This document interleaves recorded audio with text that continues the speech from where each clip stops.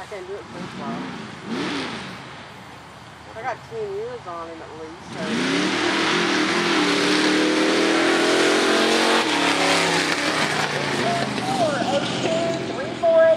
That was Robert Thomas and Sudden Impact, sponsored by the